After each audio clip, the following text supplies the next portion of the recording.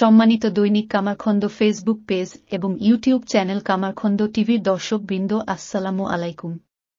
সকলকে ধন্যবাদ জানিয়ে সংবাদটি শুরু করছি। রুগ্ব দুর্নীতি গর্ব দেশ। হবে সোনার বাংলাদেশ। এই স্লোগানকে সামনে রেখে উপজেলা প্রশাসনের সহযোগিতায় এবং দুর্নীতি দমন কমিশন, সমন্বিত জেলা কার্যালয়, পাবনা ও উপজেলা দুর্নীতি প্রতিরোধ কমিটি কামারখন্দ সিরাজগঞ্জের আয়োজনে দুর্নীতি বিরোধী বিতর্ক প্রতিযোগিতা দুই হাজার তেইশ অনুষ্ঠিত হয়েছে।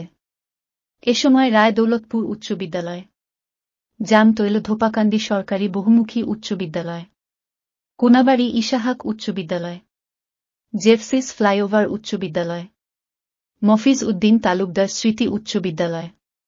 ভদ্রঘাট শামসুন মহসিন উচ্চ বিদ্যালয়। চৌবাড়ি ইসলামিয়া উচ্চ বিদ্যালয়।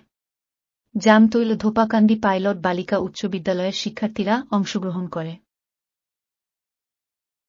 কামারখন্দ দুর্নীতি প্রতিরোধ কমিটির সম্পাদক গোলাম কিবরিয়ার সার্বিক সহযোগিতায় সহ সভাপতি সাইফুল ইসলামের সভাপতিত্বে তিন দিনব্যাপী বিতর্ক প্রতিযোগিতার প্রথম দিনে প্রধান অতিথি হিসেবে উপস্থিত ছিলেন উপজেলার সহকারী কমিশনার ভূমি সুমা খাতুন।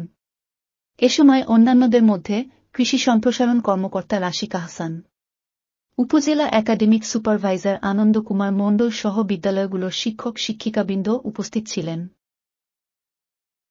ভালো লাগলে লাইক কমেন্টস ও সাবস্ক্রাইব করে পাশে থাকবেন। ধন্যবাদ।